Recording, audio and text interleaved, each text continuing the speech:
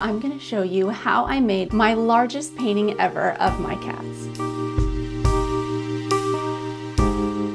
I start with a really good reference photo, and I think that's the first and very best tip that you need to keep in mind if you're thinking of painting your cat. The thing is, is that the reference photo is so important because you look at it while you paint. And if you can learn to be able to copy what you see in the photo through your hand and the paint onto the canvas, then you can make an amazing cat painting. I chose to use this photo as my reference because my cats are looking so adorable and they are both looking directly at the camera. The next step is to make an underdrawing. You can use tracing paper if you don't have drawing skills, and in fact, I would suggest doing that because it saves time and it makes your accuracy better.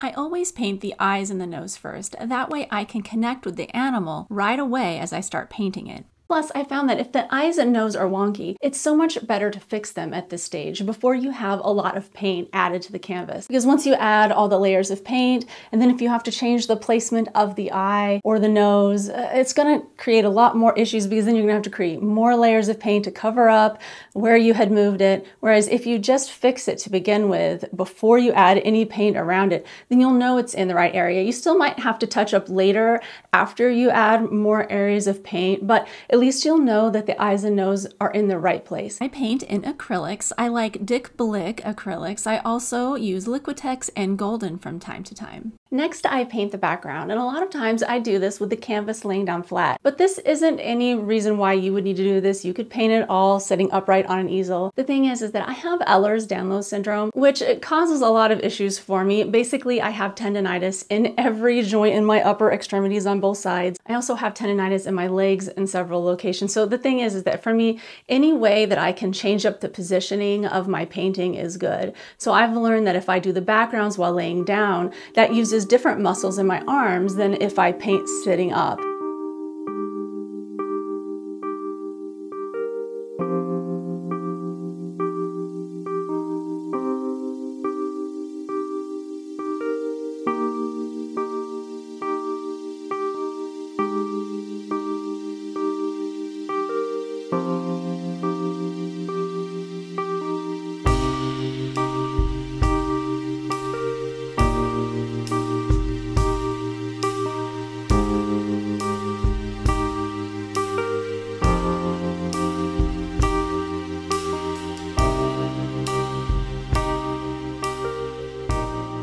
Next step is to move the painting back into an upright position and then start filling in the areas of color. I use an intuitive process when I decide to choose which color to use.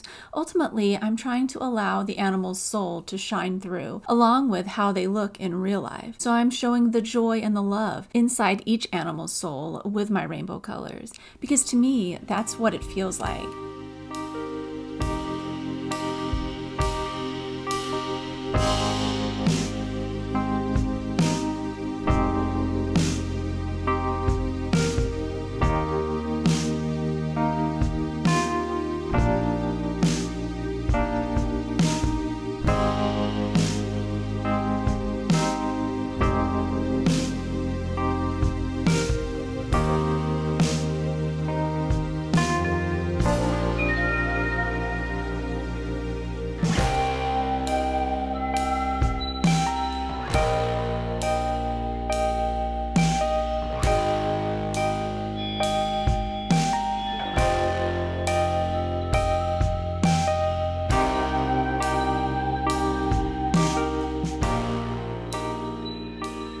Always have my kitty best friend, Mr. Samadhi, in my studio with me hanging out while I paint. Of course, he's one of the subjects of this painting. The other cat is my kitty panda bear. He's a Manx. You can see the little fluff ball of a tail he has there because Manx cats don't have a long tail like other cats.